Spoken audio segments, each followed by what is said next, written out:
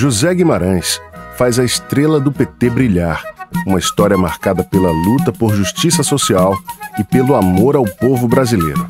Tudo começou no distrito do Encantado, em Quixeramobim, onde o menino José aprendeu lições de solidariedade e justiça com seus pais, o agricultor Sebastião Genuíno e a professora Maria Laís Nobre Guimarães.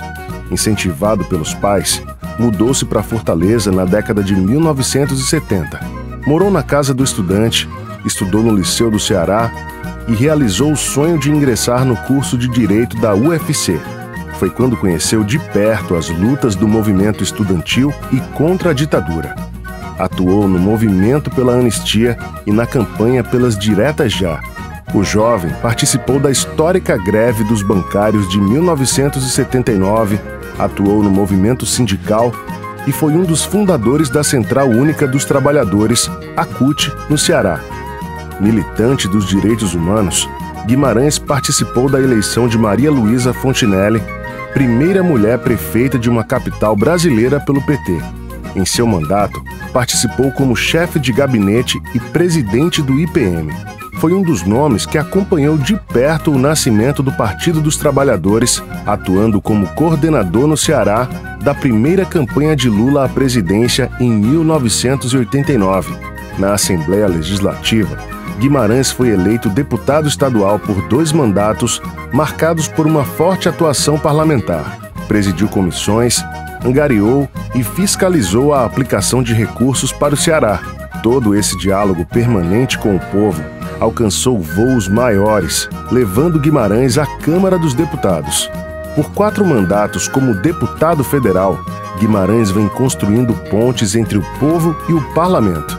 Foi o primeiro cearense a exercer a liderança no PT na Câmara, exercendo papel fundamental na base de apoio aos governos Lula e Dilma.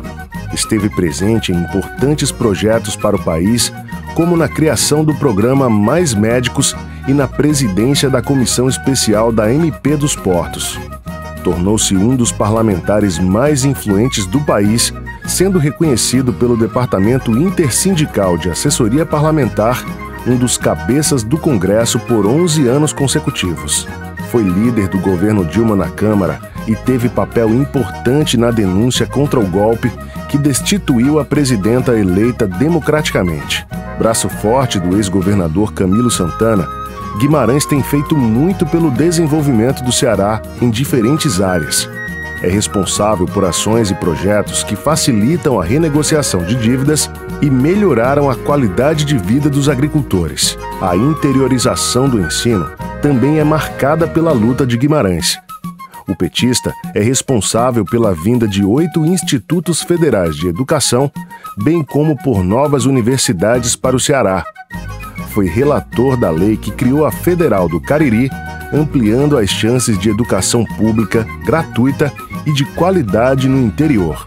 Esteve presente na luta pelo Fundeb permanente e na defesa do perdão das dívidas de estudantes com fiéis. Levou à tribuna da Câmara importantes projetos para a garantia dos direitos das mulheres, como o que regula a distribuição de absorventes pelo SUS e o que pune agressores com restrições para obter e renovar a carteira de habilitação. Ainda no primeiro ano de pandemia, quando era líder da minoria na Câmara, apresentou projetos e articulou a aprovação do auxílio emergencial.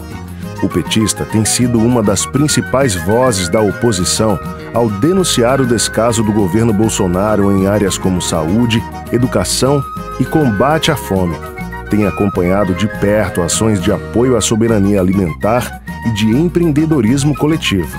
A cultura é outra área defendida com unhas e dentes por Guimarães. Assim tem sido na articulação de importantes leis de socorro ao setor cultural, como a Aldir Blanc e a Paulo Gustavo. Habilidoso, articulador, comprometido, gente da gente.